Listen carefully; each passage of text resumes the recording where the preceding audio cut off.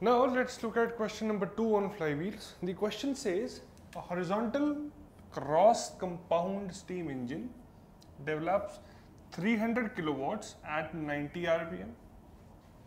The coefficient of fluctuation of energy is 0.1 that is what we find out from the uh, T theta diagram and the coefficient of fluctuation of speed is plus minus 0.5 percent of the mean speed. The total is 1 percent. Okay. Find the mass of the flywheel needed if the radius of gyration is 2 meters. Okay. So you're giving the power and a mean RPM value.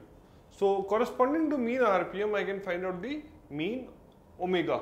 That's the angular speed. So omega is 2 pi into n by 60, which means 2 pi into 90 upon 60. That will give you the mean omega, which is 9.426 radians per second.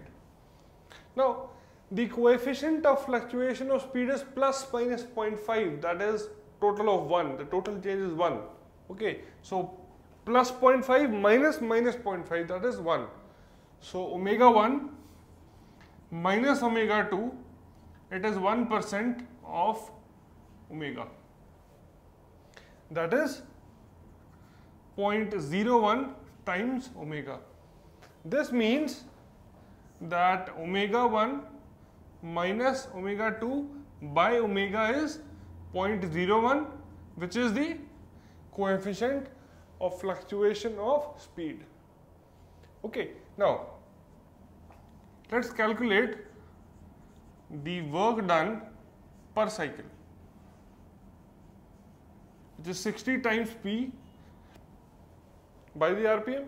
So it would be 60 into 300 into 10 to the power 3 upon 20. So this would be 200 kilonewton meter. So that is the work done per cycle.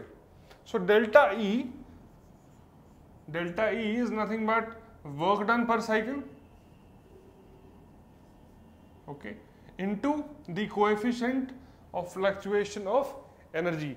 So that would be 200 into 10 to the power 3 into 0.1 because yeah that's 0.1.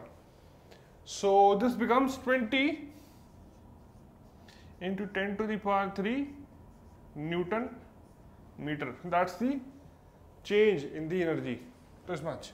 Now this is also equal to mk square omega square into cs delta E. So I know delta E, I know K square, I know omega square, I know CS, I can find out M and that is what we need to find, find the mass of the flywheel required. So M would be 20 into 1000 by K square which is 4 into omega square which is this 9.426 square into CS is how much? CS is 0.01. This would give you the mass in kgs which is 5630 kg. So this is the mass of the flywheel needed. So the main point to learn over here is to look at the coefficient of fluctuation of speed. Okay, so rest it is simple formula application so you start at this point because this is the basic definition of the change in the uh, energy of a flywheel which is work done per cycle into the coefficient of fluctuation of energy. So I hope you got this. Now let's move on to question number 3 after this question.